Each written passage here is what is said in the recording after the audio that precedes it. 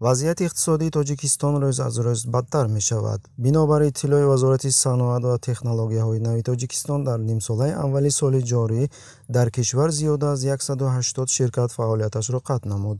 Дар ин хусус азия плюс ба раиси хадамот заробиддин файзуллозода такя намуда иттилоъ дод. Инчунин дар натиҷаи қатъшавии фаъолияти ширкатҳо тақрибан 2000 нафар сокинони кишвар бекор шуданд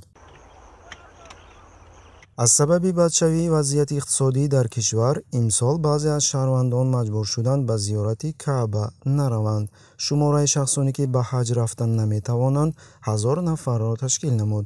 Дар ин хусус кумитаи оид ба корҳои дин танзими анъана ва ҷашну маросимҳои назди ҳукумати тоҷикистон хабар доданд. Истиқболи сазовори ҳоҷиён ба арабистони саудӣ сафар кардааст ва ин гурӯҳи ҳама намуди ҳунара доранд стяшка мекунанд кафел мезананд шкатур мекунанд. Мушоҳидон қайд мекунанд ки ҷавонон тайёранд барои 800 сомонӣ тақрибан 80 доллар дар як моҳ кор бикунанд.